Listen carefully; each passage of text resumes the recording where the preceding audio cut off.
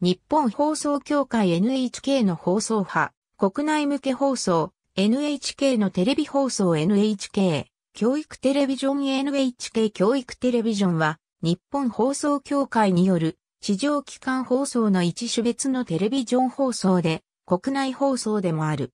教育番組を中心とした編成で、全国放送を行う。略称は NHKE、教育テレビ、及び E テレ。2011年6月1日より E テレが対外的名称として使われるようになってからは、教育テレビの故障はあまり使われなくなっている。キャッチコピーは見つかる E テレ。地域ごとに番組が異なる編成を組む NHK 総合テレビジョンと異なり、日本全国で統一した番組編成を基本とするため、関東地方、東海3県、近畿地方においては、一部に県域放送を設定するようなことはなく、民間放送の広域放送と同等の放送エリアとしている。これにより独自に放送を行うことができる放送局は41局と総合テレビより少ない。編成は概ね各種教育、趣味、教養講座、福祉、障害者向け、子供向けの娯楽を基本としているが、高校野球なども放送される。一部はかつて総合テレビで放送されていたものが、媒体変化などもあって集約されたものである。2000年代頃からは、過去の番組構成を踏襲しながらも、個々の番組をリニューアルし、タレントを起用するなど軟化させた、続受けするような番組もラインナップされるようになっている。例えば、囲碁、将棋、障害者、クラシック音楽、語学、短歌、俳句などは、それのみを純粋に扱うだけでなく、バラエティ番組に近い教養番組として作られているものもある。番組の編集もテロップやワイプを多用して民間放送のそれに近くなっている。今日の料理、語学講座や趣味番組では必ず番組の最後に番組テキストの宣伝が挿入される。日曜美術館のテーマは国内の美術館で企画展が行われていたり、周年のような産業的に利用するに時期にかなった作家、ジャンルが優先的に取り上げられている。かつては24時間放送を行っていた時期があったが、初版の事情により中止し、1日平均21時間前後の放送となっている。ただしこれについてはデジタル化原則完了もあり、引き続きマルチ編成の活用などによる削減に向けた取り組みが進められており、2012年度からはさらに放送時間が削減。本局での最高視聴率は第61回全国高等学校野球選手権大会の美濃島対清涼中継8月16日で29.4%を記録した。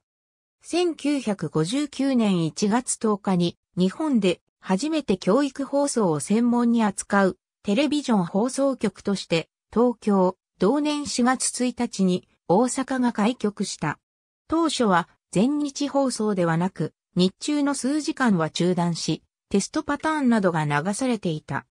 東京は完成から間もなかった東京タワーから 1CH で開局し、同年4月6日に千代田区の送信所から 3CH で放送されていた総合とチャンネルが入れ替わった。大阪はそれまでアメリカ軍のレーダー用に割り当てられた 12CH が使用された。全国的に見ても教育テレビのアナログ放送には 12CH が割り当てられている地域が比較的多かった。なお、教育テレビが全国に地局化されるまでは教育テレビの未開局の地域では総合テレビで一部の学校放送番組が放送されていた。カラー放送は総合テレビと同時期に始まった。NHK アーカイブスの番組表検索によると、本放送開始の1960年9月10日の幼児向け番組、かっちゃん2との記載があり、9月12日以降、理科教室小学校1年生、幼児向けのできたできたなどが東京ではカラーで放送されている。第一次オイルショックの影響を受け、1974年1月16日以降、14時30分から17時30分のうち1時間から3時間を休止に当てるとともに、深夜も23時で放送が打ち切られた。ただし早島以全面解除まで、その50年を要した総合と異なり、2ヶ月半後には、深夜の終了が30分伸ばされ23時30分に、9月には日中の放送休止解除、そして翌1975年度には、東京、大阪のアナログ UHF 実験局閉局もあり、放送大学の開学に向けた実験番組、大学講座を放送することになったため、1年にヶ月半ぶりにオイルショックによる時間短縮措置が全面解除された。放送自体のカラー化開始は総合と同時期だったのに対し、番組の全面カラー化は渋谷の放送センターへ東京の拠点集約を完了してからもまだ実現せず、1977年10月であった。このカラー化により、日本のテレビ番組から過去作の再放送等を除いた白黒放送が消滅した。アナログ音声多重放送についても、まず三大都市圏で1990年10月から、その他は翌年3月21日からの実施であった。いずれも総合テレビや在京、在阪民間放送より相当遅かった。文字多重放送については1999年とさらに開始が遅かった。しかし、これらのサービスを開始することにより、教育テレビの編成における制約が徐々に少なくなっていった。この動きに合わせるかのように、それまで総合で放送されていたジャンルの一部が、衛星テレビジョン本放送開始も相まって、ジャンル整理の一環として教育テレビに移ってくるようになった。総合で放送されていた子供向け番組は、平成時代に入ると姿を消し、教育テレビに集約された。総合の空いた時間帯には、報道、情報番組が編成されるようになっていった。口述の表でも説明するが、放送開始当初は1日5時間で、早朝、及び日中のうち午後の時間帯は放送休止となっており、その時間帯は放送設備点検のためのテストパターン画像とレコード音楽を延々流す程度だった。その後放送時間の拡大が進み、1964年には午後0時台の休止が廃止、さらに早朝放送も開始するようになった。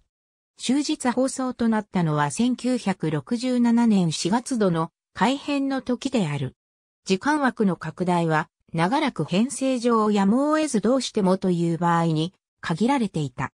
山田聖号のアナウンスによる放送終了告知も存在したが、放送されることは極めて稀であった。教育テレビが大規模に時間枠拡大に向けた動きを見せたのは、1989年11月頭に3夜連続で編成したチャンネル e ウィークエンドラリーが最初であった。ただしこれは終夜放送ではなく午前2時前後に終了するものであった。実験的編成であったため、この時は継続して行われることはなかった。1990年代後半になって少しずつ24時の壁が破られるようになる。1998年度には語学講座の深夜編成により月から金曜の一部は0時35分終了となった。翌1999年度はさらに拡大され、月から金曜は2時までにそして翌2000年にはついに原則第2.45週の日曜深夜イコール月曜未明を除き5時起点の24時間放送を開始した。ただ当時は第2.45週の日曜の翌日が祝日や振り替休日になる場合、放送休止の編成に対する批判の声が多かった。大地震や津波が発生した場合以外の自然災害イコール災害対策基本法履行、及び大事件など有事発生時の速報義務が教育放送系チャンネルにはないため、2000年7月以後も放送休止は全国一斉に行われている。ただし24時間放送実施時の平日のメンテナンスは各局任意だった。しかし、一連の不祥事による受信料収入の減少の影響で、経営再建と経費削減を行う観点から、2006年4月2日から3日にかけての深夜の放送をもって、衛星ハイビジョンと共に24時間放送を中止し、深夜は再び原則としてメンテナンスタイムに充てることとなった。その後、地球温暖化防止対策として2008年10月からアナログ放送で、翌2009年4月からは3大都市圏のデジタル放送でも、それぞれ完全停波するようになった。ただし、全国放送終了後の深夜時間帯に、各地の放送局が不定期にその地域向けに番組を放送する場合もあるほか、高校野球地方大会など地域番組に差し替えた関係で放送できなかった番組の実写放送が行われることもある。なお、休止時間については口述する。2012年度からは月曜から金曜の放送開始時刻が1999年度から続いていた5時から5時30分に繰り下がることになった。土日は従来通り5時開始となる。2015年度は日、月が5時、他が5時30分となり、2016年度からは日が5時、それ以外が5時30分である。2003年2008年7月24日よりアナログ放送において3年後の同日までにアナログ放送が終わる予定であることを周知するためとデジタル放送への円滑な移行を促進するため画面右上にアナログの字幕を出すようになった。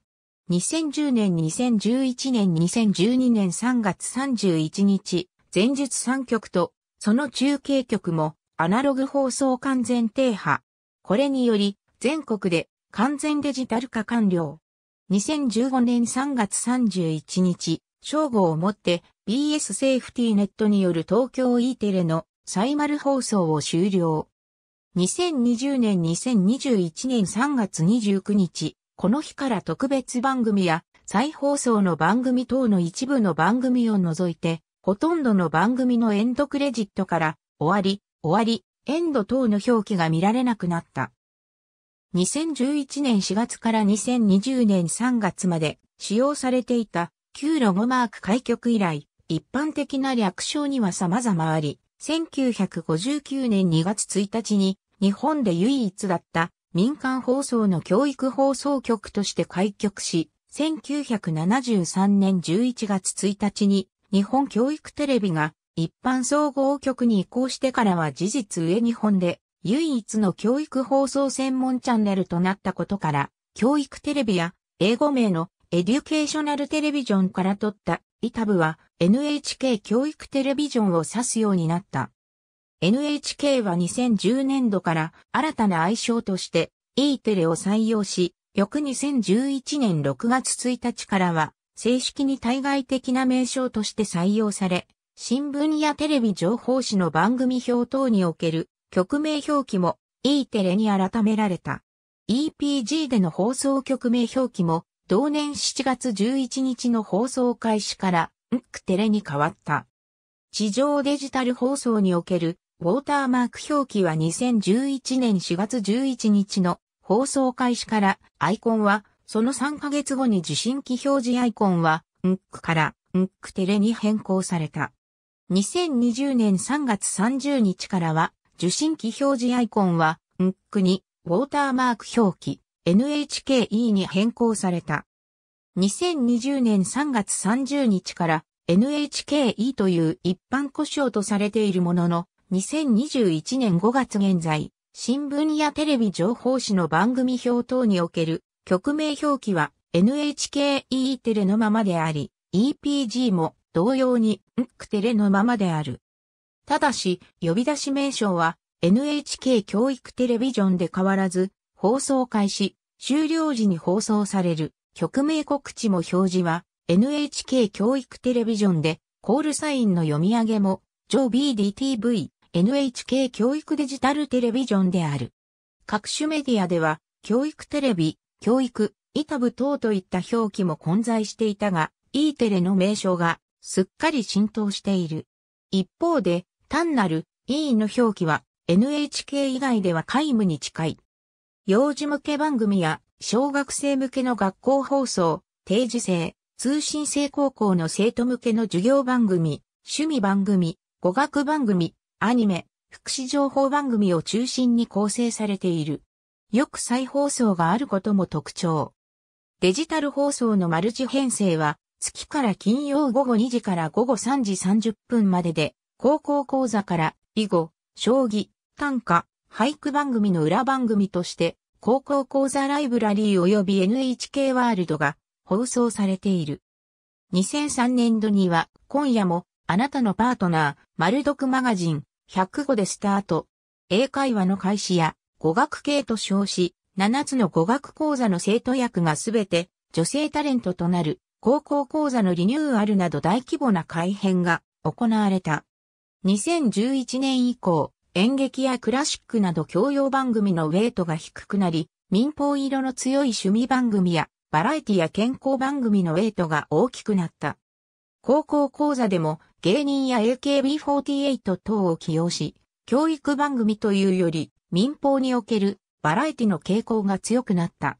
月曜日から金曜日はゾーンを設定して集中編成を行う。放送内容はいくつかのジャンルに代部される。このほか、囲碁、将棋、俳句、短歌を扱った番組、科学番組などを放送。報道に関する番組はほとんどないが耳が聞こえない、聞こえにくい人も対象にした NHK 手話ニュースを放送している。教育や暮らしといった真面目な番組を中心とする一方で、1990年代以降、ハッチポッチステーション、ストレッチマン、ピタゴラスイッチのようなシュールな番組を制作することでも知られる。学校放送や語学番組、若者向け番組ではアイドルやお笑い芸人が出演したり、バラエティ番組の演出を取り入れたりと、内容を時代の波長にわずかながら合わせている箇所もある。普段テレビでは姿を見せない人選や声優が顔出しで出演していることもある。そのためか教育テレビの熱狂的ファン層が存在し、教育テレビを特集した雑誌もある。教育テレビで放送される番組の多くは東京の NHK 放送センターで制作されているが、中にはバリバラ、障害者情報バラエティや中学生日記、俳句王国など NHK 放送センター以外で制作されている全国向け番組もある。このほか、各地の放送局が制作する地域向け番組も教育テレビで放送されることがある。なお、毎年12月31日から1月3日は通常の番組編成を深夜の一部を除いてほぼすべて休止し、年末年始特別番組編成が行われる。ちなみに、毎年12月31日は8時台から18時台まで NHK で放送されているアニメ作品の特番を放送することが恒例だったが、ポケモンショックが起きた翌年の1998年より長時間の編成はされなくなった。2004年以降の年末年始からは、本放送中の作品を中心とした数、話連続放送が行われるようになっている。また、近年では、お母さんと一緒ファミリーコンサート等の再放送も行われる。また、学校の休校シーズンにあたる7月下旬から8月末、12月中旬から1月、初旬、及び3月下旬については、手話ニュースや一部の生活、福祉情報、教養、スポーツ中継番組などを除き、新規の番組制作を休みにし、これまでに放送された番組の再構成番組のテレビクラブ名義のコンプレックス形式。ただし実際の放送ではこのタイトルは出ないを中心とした内容になる。基本的に番組編成の差し替えは行わず、ラジオ第2など他の一部のチャンネルも同様である。ただ、番組編成の差し替えという例は教育テレビでは、ラジオ第2より多い。2012年度で定時に差し替え放送が行われるのは、近畿地方と沖縄県のみ。国会中継、大相撲中継、高校野球やオリンピックなどのスポーツ中継を総合テレビから代替放送することがある。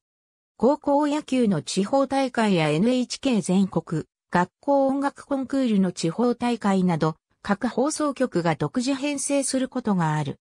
またそれらローカル番組と総合テレビの長時間特番が重複した場合、特番を当該時間帯の未教育テレビにリレーすることがある。また、地震や津波の際には全波共通放送、阪神、淡路大震災や新潟県中越地震、東日本大震災では安否情報を編成。通常放送に戻す場合でも状況に応じて字幕情報を放送する。1995年の阪神、淡路大震災では1月17日から5日間、通常番組を全日、または一部休止し、安否情報特番を行ったが、数日間にまたいで教育テレビの番組を差し替えたケースはこの時が初であった。また2011年の東日本大震災においても、3月11日の震災発生時から3月18日24時の放送終了まで通常番組の大半を休止した。特に11日の発生当初から3月13日の2日半は当初から予定していた番組を全休し、地震、大津波警報についての報道、安否情報放送を行い、3月14日以後は視聴者保護のため、一部の児童向け番組に限り通常、編成に戻した。また、18日まで BS2 とサイマル放送を行った。このほか、1983年の日本海、中部地震による大津波が発生した時にも、数時間、総合テレビラジオ第1、第2 FM とのご派前中が、1989年の昭和天皇崩御に際しても、宮内庁によって発表された午前8時前後と、新元号が発表された午前10時前後に7波前中として、その関連放送が実施されている。また2005年9月6日のように、総合テレビで選挙の政見放送が放送される場合は、政見放送のスケジュールが公職選挙法の取り決めで変更することができないため、突発的な事件、事故が起こった場合などに教育テレビで番組を差し替えて放送するケースもある。昭和天皇が崩御した際、NHK は当初全波で関連特別番組を放送していたが、崩御の報道が最初にされた2時間後ほどで、教育テレビについては各地の放送局の判断で順次通常を番組に戻していっ。このため CS も民放 BS もなかった当時、教育テレビは総合、BS2 や民放が特別編成を実施した2日間、日本のテレビで当チャンネルと BS1 の2局だけが通常番組を放送するつぼねとなった。2010年6月11日に総合テレビで放送されたいよいよ開幕世紀の祭典を楽しもう。2010FIFA ワールドカップは北海道地方では特別番組生中継よさこいソーランナイト2010を優先したため、教育テレビで編成した。2003年から地上デジタルテレビ放送が始まった。2004年9月から一部時間帯でマルチ編成を実施している。022CH と 023CH で別の番組を放送。2006年4月以後は 023CH のみ実施。2007年度は主に22時以降に放送している。趣味、教養番組を翌日に10時から放送するほか、土曜、日曜は他の時間帯も含めてもう一度1週間分すべてを放送している。2009年度のマルチ編成は夜間の編成が廃止された代わりに夕方14から15時台に組み、さらに2010年度で14時台の廃止の代わりに早朝5時台に NHK 高校講座の再放送を編成。2011年度は月から水曜日が14時15時、期、金曜日が14時15時30分。2007年9月7日の夜のマルチ編成では、前日に総合テレビで台風情報を放送したことに伴い教育テレビに移動してきた世界体操競技選手権により放送されなかった番組をマルチ編成の方が先行して放送する形になった。近年多くの全国紙や地方紙やブロック紙が第2テレビラジオ番組面でデジタルサブチャンネルの番組表を掲載するケースが増えている。朝日新聞は E テレの番組の末尾に日本経済新聞はメインテレビ面の総合テレビの番組の下に掲載している。なお掲載サイズはいずれも小サイズまたは極小サイズである。かつては北海道新聞でもデジタルサブチャンネルの番組表を掲載していたが、2011年10月以降は掲載されていない。地上デジタル放送開始後もハイビジョン番組が少なく、4、3標準画質で制作された番組が多かった。2008年4月以降、標準画質のマルチ編成でも16、9の画面比率で制作された番組は増加の傾向にあり、標準画質制作された番組にサイドパネルをつけて、ハイビジョン画角で放送することも増えた。総合テレビと同じく4、3番組では、画角情報も送信されている。完全停波しない限りデータ放送も EPG も利用可能となっている。かつては放送休止中はデータ放送が利用できなかった。総合テレビと合わせて受信機のファームウェアアップデートなどのエンジニアリングサービスのデータを送信している。データ放送は地域ごとによる差し替えはなく、全国一律の内容となっている。主に、今日の料理など、教育テレビで放送されている番組と連動した構成になっている。2009年度、2011年度、2015年度にトップページのリニューアルを実施。NHK は放送法令等の規定により、ワンセグ放送は通常のデジタル放送との再丸を続けてきたが、2009年4月6日から民放に続いてワンセグ独立放送を開始することとなった。その後、2009年2月18日に概要を発表し、この独立放送を NHK ワンセグにと命名。開始時点では月曜から金曜までの12時から1時間、同日の深夜及び土曜の13時から1時間、12、セグとは別の番組を放送。その後、実績を踏まえ編成、番組の見直しが随時行われていた。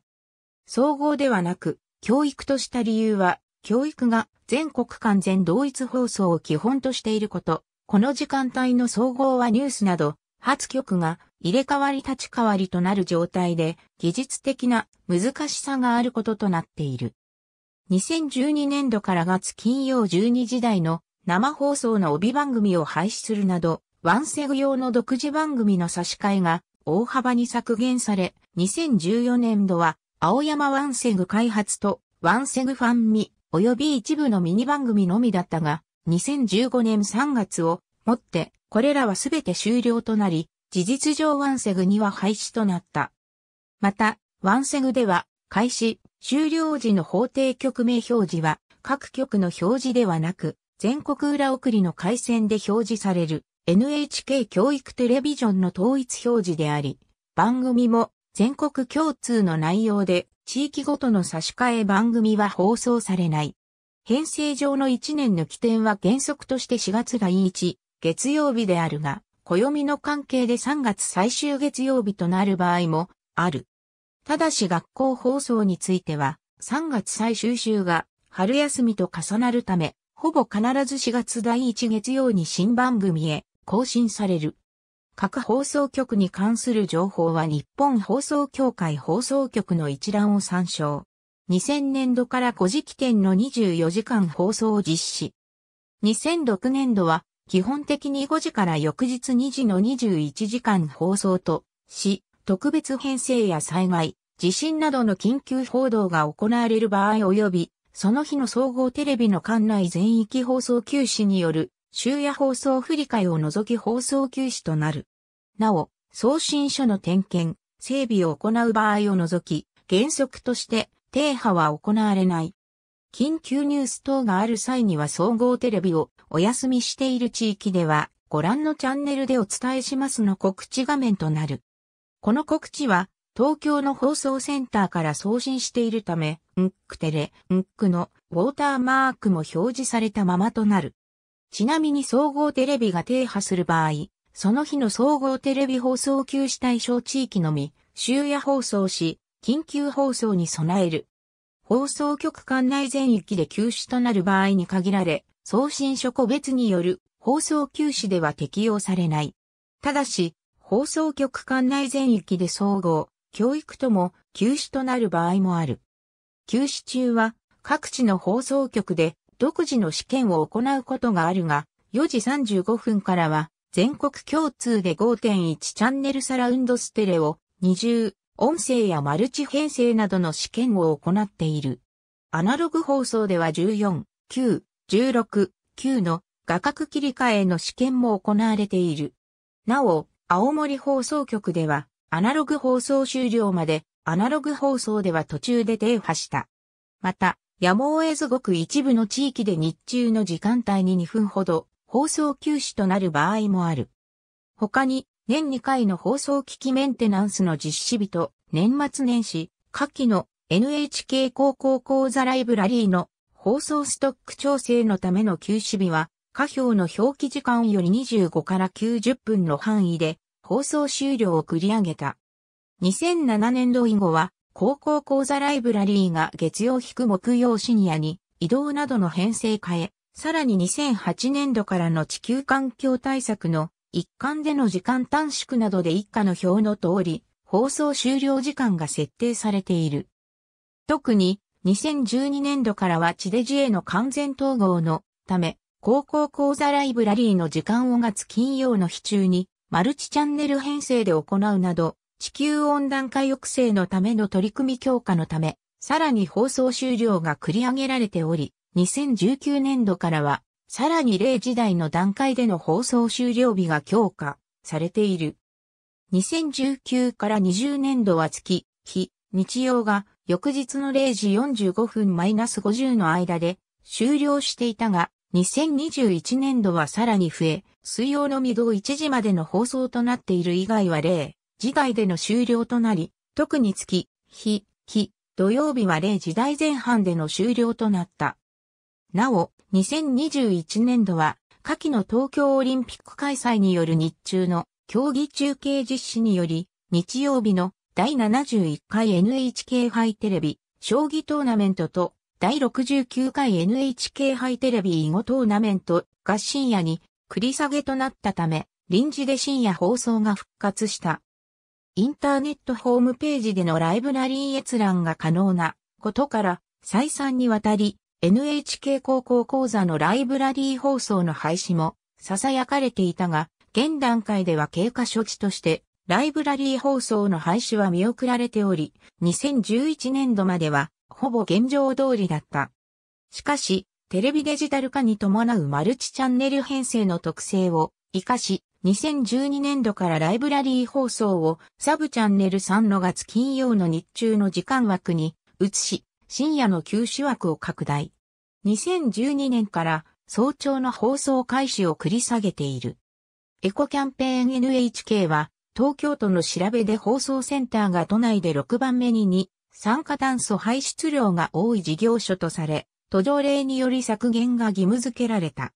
総合テレビ、地球エコ2008-2008年4月6日の放送において、教育テレビの放送時間削減の目的に二酸化炭素排出量を減らすための電力消費削減が加えられたことが明示された。2008年7月6日の放送は、翌日に全国一斉実施の七夕ライトダウンキャンペーンに協賛し、23時で放送終了。アナログ放送はほとんどの地域で停波した。デジタル放送については送信出力が基本的にアナログ放送の1割であること、中継局数が少ないことから大半は停波せず、通常の機器調整放送を行った。休止日に総合テレビで放送の NHK スペシャルでもそのことが取り上げられた。なお、新聞の番組表では以下の形で23時での放送終了についての趣旨が記載された。11時放送休止のお知らせ。明日は CO2 削減ライトダウンキャンペーンが行われます。NHK 教育テレビはこのキャンペーンに賛同し、今夜は11時で放送を終了します。6時間の放送休止は一定の消費電力、二酸化炭素排出量削減を狙ったものだったが、結果として30分前倒しで放送を開始した。総合テレビで放送したテニスのウィンブルドン選手権、男子シングルス決勝、ロジャー・フェデラー対ラファエル・ナダル戦が、この大会、恒例の雨天中断もあり長引き、NHK ニュースを早う、日本の放送が迫ったために、教育テレビを7日5時の開始予定を30分、繰り上げて教育テレビでのリレー中継を実施、試合を1時間余りにわたって放送した。2008年12月29日は環境対策の一環として教育テレビの放送時間を12時30分から21時30分の9時間に短縮した。アナログ放送では放送休止中、当日の午前中は完全停波、正午からグレーバック画面送出開始。これによって約17,000キロワットアワーの電力と CO2 約9.4トンが削減されたという。もっとも、この時期は年末年始編成に入っており、通常固定編成されている番組のほとんどが休止となることから実現できた。キャンペーンについては、放送時間短縮当日の特別番組で山口勝アナウンサーによる説明があった。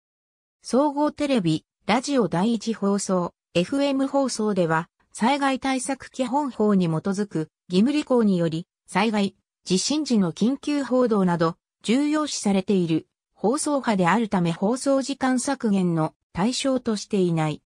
衛星波の場合、電力の大半は放送衛星に搭載されている太陽電池を使用しており、太陽電池自体は元から二酸化炭素を出していないため、電波を止めても二酸化炭素排出量を減らすための電力消費削減の効果はほとんど出ないため、こちらも放送時間削減の対象としていない。これらのことから教育テレビで行われた。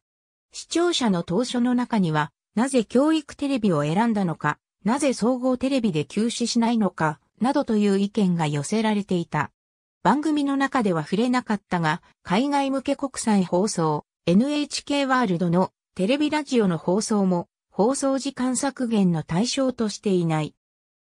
この日の番組表も、朝と夜のスペースで、放送時間短縮のお知らせ本日教育テレビは午後0時30分からの放送になります。放送時間短縮のお知らせ本日教育テレビは午後9時30分で放送終了しますと記し CO2 の削減、特にこの休止によって9.4トンの削減につながることや、この日は総合テレビでは特集番組を放送、教育テレビは放送時間を短縮することで地球環境を考える1日にしますを強調すると、共に地球温暖化対策に取り組む姿勢についての告知を掲載した。同日夜9時からの特番において NHK の編成担当者は、この放送時間短縮における休止の時間帯も一つの番組として捉えてほしいと説明した。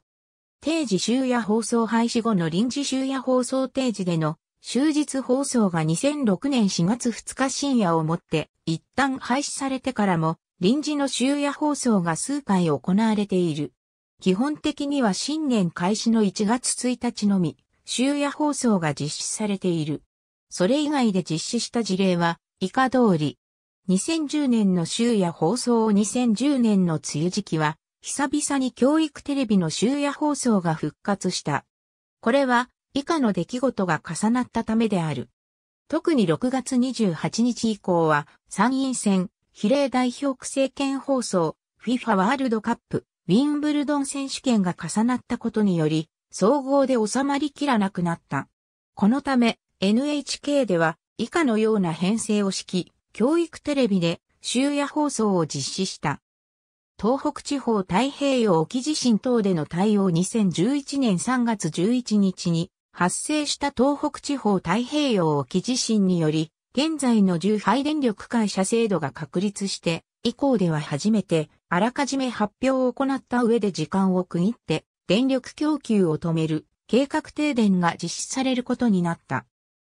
これに伴い NHK は、地球温暖化対策での低波計画5年間の取り組みの延長線上として、電力節減に協力するため、3月14日午後、翌15日から19日までの5日間午前0時から5時間、教育テレビと非常措置として、これをサイマル放送している BS2 の放送を休止し、システム上低波が難しい BS2 とは異なり教育テレビについては、アナログ放送のみならずすべてのデジタル放送送信機についても電源を落とす措置を行うことを決めた。新聞番組表 EPG の24時以後の欄には放送お休みのお知らせ、今回の地震に伴う節電に協力するため、新0時5時まで放送をお休みします。と表記されていた。初開校については状況を見ながら継続するかどうかを判断するとしていたが、通常放送に戻したため結局は行っていない。なお、通常編成に戻った後も、東北地方では引き続き、総合テレビで震災関連情報を放送したが、総合テレビで国会中継など震災関連情報を放送できない場合、教育テレビで放送した。この場合、デジタル放送ではマルチ編成を行う場合があった。大半によっては、教育テレビジョンの表記と故障されている。基本的に NHK ニュース速報テロップは表示されない。ただし、極めて重大性の高いニュースの場合は、NHK ニュース速報を表示することもあり、高校野球、大相撲中継など、一部の番組では、津波注意報も含めて、テロップが表示されることがある。以前は、地震情報テロップも震度4以上の地震があった場合や緊急地震速報が出された場合を除いて、表示は行っていなかったが、現在は他の放送波と同様に表示を行う。ただし、BS1、BS プレミアムと同様全国規模のみの表示となる。2011年3月11日発生の東日本大震災の特設ニュース開始以降は安否情報、生活関連情報、定時番組放送中を問わず NHK ニュース速報も地震情報もしばらくの間表示されていた。なお、緊急地震速報のテロップとスポーツ中継延長などによる番組の放送時刻、変更及び休止のテロップ表示は行われており、2013年8月30日からは気象警報についてもテロップ表示がされるようになった。また、2021年1月現在、速報テロップはスーパーインポーズによる表示となっており、文字スーパーによる表示は行われていない。一部のテレビやビデオ、DVD プレイヤー、テレビが視聴できるパソコンなどでは、アナログ放送で実施された正午の時報を利用して時刻調整する機能を備えたものも出ていた。しかし、2003年に開局したデジタル放送では、原理上エンコード、デコードに伴う遅延が不可避であるため時報が行われず、2011年7月23日で時報の放送自体が終了となった。手話ニュースにおいて天気予報を伝える予報画面は総合テレビのものと同じであるが、総合テレビはアニメーション表示であるが、E テレでは静止画にて表示されている。一方株式市場で大きな変動があった際に、現在の株価を放送する場合はアニメーションとなる。映像はこれも総合テレビと同じで画質は総合テレビと比べると少し荒い。画質は放送設備のハイビジョン対応により大幅に改善されている。1990年、日本テレビ系列の EX テレビ大阪の火曜日の企画で、視聴率調査機のある約2600世帯の方だけに送る限定番組、なるものが放映され、司会の上岡龍太郎は、今から1分間 NHK 教育テレビにチャンネルを合わせてくださいと呼びかけた。当時の NHK は総合、教育とも午前0時で放送終了で、当時はメンテナンスのための砂嵐しか放送されていないにもかかわらず、ビデオリサーチで2%、ニールセンで5.9%の瞬間視聴率を記録した。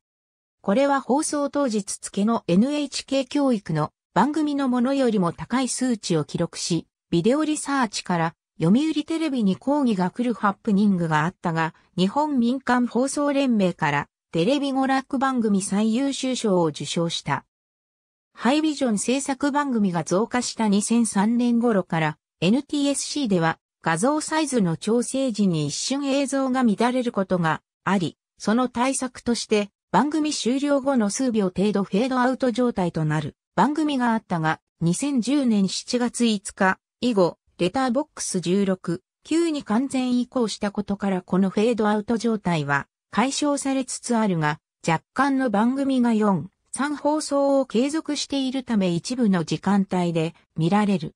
また、ワンセグでは通常の E テレの番組とワンセグに独自編成の番組の境目にも数秒程度フェードアウト状態となる番組もある。E テレ時代の一部番組案内では、スポット及び次回予告の最後の5秒間で、イタブの文字が3段階で、E テレの文字に変化するパターンの ID 映像がある。通常バージョンのほか、3段階で E テレの文字に変化するたびに、紅葉の絵柄が変わる秋バージョン、文字に雪がついた冬バージョン、T が手に変化する際、弾き出されたバケツがちょうど雪だるまに被る雪だるまバージョンなどもある。2009年春から主に日中を中心にレターボックス16、9の番組を主として地デジー高速新の字幕ロールの表示を開始。2010年9月から地デジコールセンターの受付時間帯はロール字幕、地デジコールセンターの電話番号の固定表示を行う。2011年1月24日以後、地デジコールセンターの電話番号の表示時間は放送、電波喪失時間中の終日表示にする。ワンセグでは2010年2月上旬まで一部の番組を除き、ウォーターマークを表示していたが、現在は終日表示となっている。ありがとうございます。